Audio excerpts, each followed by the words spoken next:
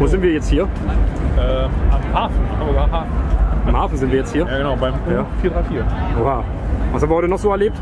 Äh, Comic-Tag, Ja. haben wir ganz viele Comics gekrallt. Und genau, wir gehen das am Hafengeburtstag. Ne? Ich würde mal sagen, wir werden uns vielleicht die Comics nochmal zeigen, oder? Ja, die Comics Gehen wir nochmal im Park, bisschen, bisschen Farm. Moin Moin Freunde, herzlich willkommen hier aus Hamburg. Schöne Grüße mit dem lieben Phantomas, habt ihr schon in der, in der Anfangssequenz gesehen. Wir sind heute unterwegs gewesen auf dem Hafengeburtstag, den gratis Comic-Tag, der hier natürlich hier auch war. Bei drei Comic-Läden waren wir gewesen, richtig, oder? Ja, genau. Wir gucken, wir zeigen euch gleich die Gratis- Gratis-Comics, die es heute gab. Und wir haben einige abgestaubt. Wir wollen auf drei, in drei Läden in Hamburg und äh, macht Spaß. Seid gespannt, was wir euch jetzt nämlich hier zeigen. So, Flohmarkt war nur heute einer gewesen, wo wir gewesen waren, in der Bramfeldstraße. Das ist Nähe Otto. Ja, ist so teilweise ein bisschen sehr viel auch Bazarmäßig, viel Ramsch, auch viel halt so, ja, wie man es halt kennt vom Flohmarkt, viele Preise und so weiter. Ich werde hier so mal ein paar Bilder einblenden. Sind natürlich auch teuer gewesen, eine Wii für 60 Euro. Geht normal in Ordnung, wenn man das natürlich verkaufen will. Ich kann natürlich auch mal ein paar Tipps und Tricks bei Instagram zeigen. Ich verkaufe die auch mal äußerst, also ich gehe auch mal auf den Flohmarkt, kauft das auch mal an und verkauft das. Das ist kein, keine, keine Kunst, habe ich auch schon mal Thomas gesagt und so weiter. Dafür habe ich noch mal ein Kleingewerbe angemeldet. Thomas geht noch mal hin und ein bisschen schlendern, oder? Ja, auf jeden Fall. Da kann man hingehen, kann man ein bisschen rumgucken. Man darf nicht zu viel erwarten. Wie gesagt, es ist wirklich viel Ramsch und viel, ja, viel 90er-Zeug, aber wirklich dieses ganze Müllkram, ne? so Elektrogeräte, Videorekorder. Also alles, was du bei Haushaltsauflösung findest, findest du da ziemlich viel. Sind aber auch ein paar Private da, ne, die dann sonntags keine Zeit oder keine Lust haben. Ist auch der Vorteil, dass sie da äh, Stände haben, die du anbieten kannst. Also du brauchst keinen eigenen Tisch oder so. Das ist ja ein Vorteil. Das lockt dann auch ein paar Leute an. Aber alles in allem ist es so, wenn du samstags nichts zu tun hast, kannst du da gerne hingehen. Ja, habt ihr schon gehört. Also er war mäßig. Ich habe zwei Sachen gefunden, wenn man auf, ich, so, ich kaufe hier manchmal so ein bisschen ältere Sachen an. Wisst ihr, Retro-Schiene, die läuft ganz gut. Und ich habe da natürlich nichts, äh, ich habe jetzt zwei Euro ausgegeben für zwei Sachen. Einmal My Little Pony von 1987 von Hasbro, die sind ganz schön gefragt bei den Mädels. Kann man mal so für 10 bis 15 Euro sogar teurer verkaufen. Die Einhörner sind auch sehr gefragt. Und einmal fand ich ganz interessant, ähm, der Viewmaster. Mickey, Donut und Goofy, das sind so drei Platten, die man sich da halt angucken kann in diesen Teil, wo man reinschauen kann mit Erzählgeschichten. Auch für einen Euro. Ich weiß jetzt nicht ungefähr, wie der Preis ist, aber war sehr interessant. So kann man das hier nochmal so sehen. Es ist ein kleiner Haul. Ähm, wie gesagt, vieles war halt überteuert oder war, wie gesagt, auch nicht mehr so gut in, in Schuss. Dazu erstmal nur ein kleiner, ja, das war ein kleiner Flohmarkt-Haul. Das Highlight. Ach, das Highlight. Äh, das Highlight war natürlich ein Avenger, den wir noch nicht kannten, und zwar Superman.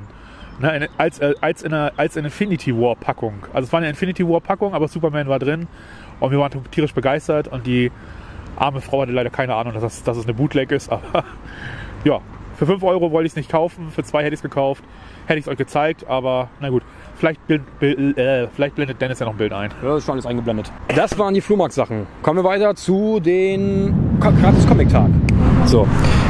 So, da sind wir wieder da mit anderen Kamerawinkel. Sorry, meine Kamera ist alle geworden, wenn man mal mit Profis arbeitet. So, der erste Comic-Tag wieder in diesem Jahr war natürlich überall gewesen. Panini hat äh, wieder ein paar Comics spring, springen lassen. Splitter, Verlag, alle möglichen Verlege. So, ihr habt natürlich die Möglichkeit gehabt, auch zwei oder, wo gucke ich jetzt rein, da vorne, ne? Natürlich zwei oder mehrere Comics zu bekommen. Das ist immer abhängig von den Händler. Und ja, also es gab euch eine gute Auswahl. Wir wollen euch mal gerne zeigen, was haben wir denn heute gratis bekommen.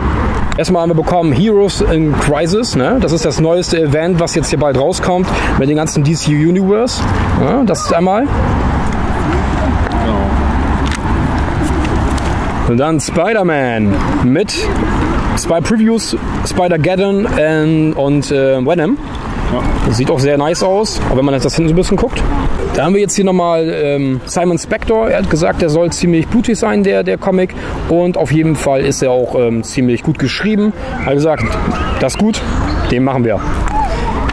Was bist du dran? So, sind wir schon weiter? Ja. Okay. Dann haben wir noch äh, Trachtman. das scheint so ein deutscher Comic zu sein. Und äh, ja, der sah halt ganz lustig aus, haben wir halt auch mitgenommen. Ne? So, und dann als nächstes, warte, nochmal hier rumschmachen hier. Was haben wir jetzt hier noch? Ah, Conan. Conan. Ne, das ist hier nach einer Erzählung von Robert E. Howard. Der Conan der Chimära. Jenseits Splitter. des schwarzen Flusses.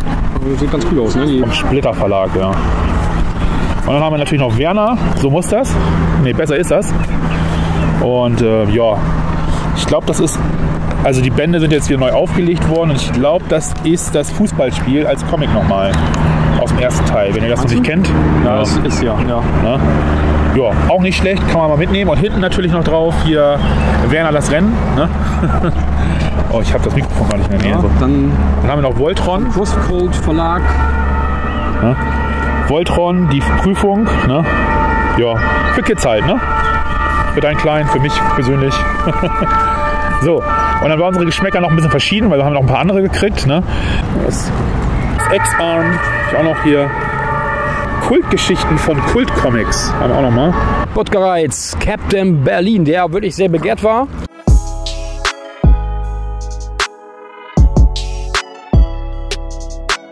So, das waren mal die Com- Comics gewesen. Ihr seht ja, eine ganz große Auswahl war dabei. Ähm, wir haben, waren bei drei Comicläden gewesen hier in Hamburg. Einmal Comic Kollektiv, Comics und wie ist dann auch noch äh, Comics Total. Da kommt man, wie gesagt, bei einem musste man halt würfeln, da konnte man halt zwei bis äh, sechs Ausgaben bekommen. Dann bei dem einen konnte man sogar dann halt für zwei Stück bekommen. Da hätte man was eingekauft, dann hat man sogar noch mehr bekommen, drei Stück dazu. Konnte dann aber auch nochmal würfeln. Wenn man eine sechs gewürfelt hat, hat man ein Poster bekommen. Was da drin ist, werdet ihr nochmal bei Instagram sehen. Ja, dann ähm, kommt man natürlich noch so ein paar Lesezeichen abstauben hier, Postkarten, gratis Postkarten. Thomas hat hier noch Ganz verschiedene. Also ich zeige es dir, sagen wir mal so, ne, aber es sind halt Batman, es ist der Joker da drauf, hier noch ein paar Anime-Postkarten mit Aufklebern. Auch ganz nett. Wie gesagt, kann man mal vorbeigehen, Comicladen. Ja, auf jeden Fall. Und das war der Comic-Tag gewesen, der gratis Comic-Tag. Ich hoffe mal, ihr habt das auch ähm, euch, ähm, sag mal, seid losgegangen, habt euch die Comics geholt, vielleicht neue Comics geholt, haben wir auch noch gemacht. Einmal nämlich das hier, das ähm, Wearing Cover, die Überraschungstüte für 5 Euro. Da sind ja immer, was war schon drauf? 1 von 80 Wearing Covers. Limitiert auf 200 Exemplare, die waren auch sehr schnell weg, muss man mal ganz ehrlich sagen. Das machen wir aber extra auf Thomas sein Kanal. Ne? Da werdet ihr das Video dann halt sehen. Gut, zu guter Letzt, weil das ja Nerdtaste und unterwegs war hier nahe. Wie gesagt, das eine Video seht ihr auf Thomas sein Kanal. Und ich war zum ersten Mal auf dem Hafengeburtstag gewesen. So ein bisschen die kleinen Eindrücke werdet ihr noch mal kurz jetzt hier noch mal sehen.